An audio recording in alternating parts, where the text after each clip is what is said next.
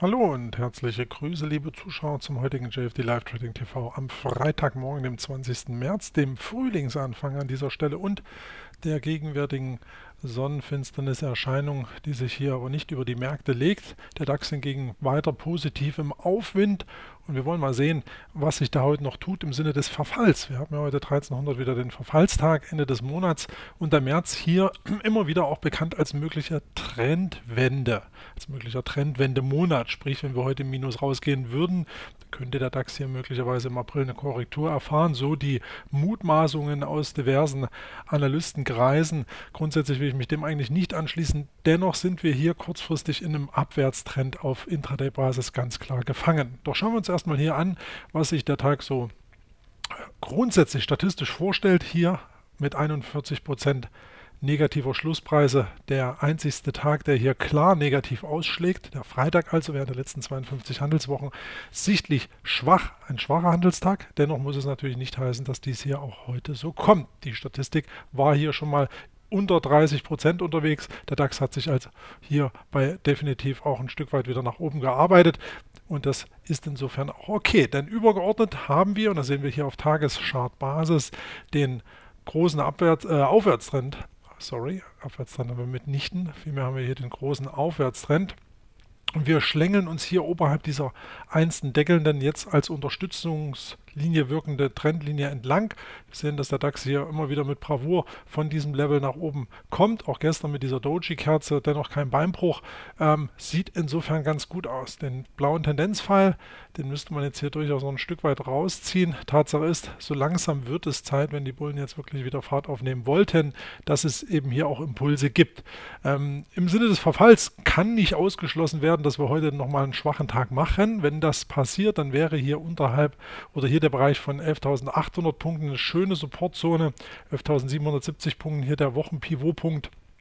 Also hier ein sehr, sehr gutes Auffangbecken. Die Aufwärtstrendlinie selbst liegt ein Stück weit tiefer. Das wäre dann hier im Bereich 11.750 Punkten. Also rein technisch wäre hier sogar Luft bis rund 11.710 Punkten im Falle einer größeren Korrektur.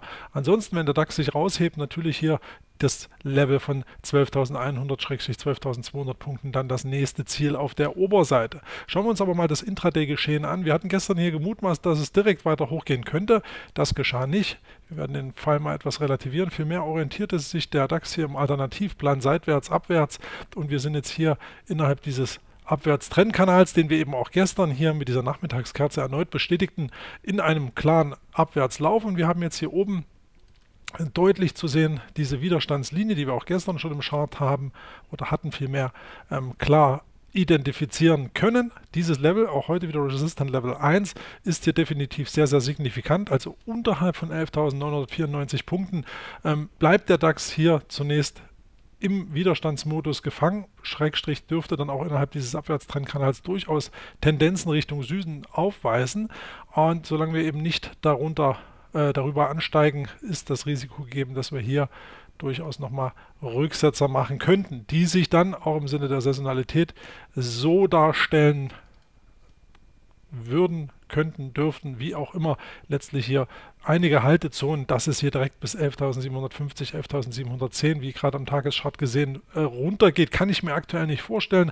Aber wir haben ja auch heute schon gesehen, in der Kristallkugel des Morgens, dass es sogar hier rein ja, esoterisch kann man fast nicht sagen, aber dass es hier rein äh, nach Fuzzi-Vektorlogik heute wirklich nicht gut aussieht, äh, im Sinne dessen, dass es nicht nur heute kracht, sondern dann auch hier äh, insbesondere am also nicht nur heute am Vormittagshandel, sondern insbesondere im Laufe des weiteren Handelstages hier deutlich krachen dürfte.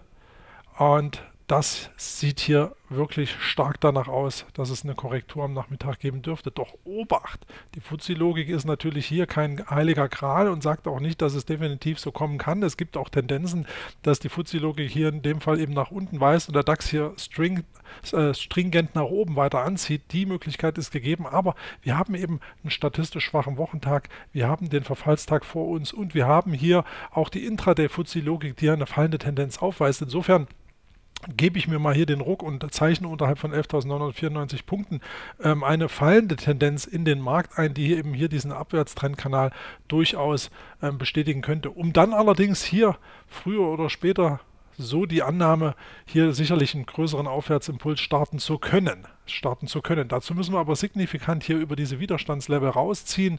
Ähm, wenn das nicht gelingt, dann bleibt es natürlich dabei, dann ist der Markt hier ähm, ja, in einem Konsolidierungsmodus gefangen. Das kann natürlich dann auch hier zu einer stärkeren Abwärtsbewegung führen, wenn der Markt hier nicht signifikant nach oben rauszieht. Aber definitiv aktuell noch im Konsolidierungsmodus.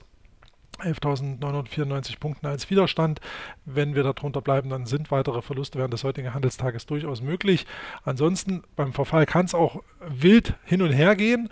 Ähm, faktisch wäre natürlich hier diese obere Trendlinie die sich hier herleiten lässt, seit dem letzten Höchststand.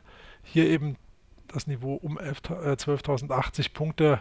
Das wäre hier dann ein Tagesziel, wenn wir uns hier nach oben rausarbeiten. Also gute 100 Punkte können es nach oben gehen und selbst dann hätten wir noch nicht diesen Abwärtstrend, diesen kurzfristigen gebrochen. Das heißt also auch von diesem Level könnte es theoretisch dann hier nochmal einen Impuls nach unten geben.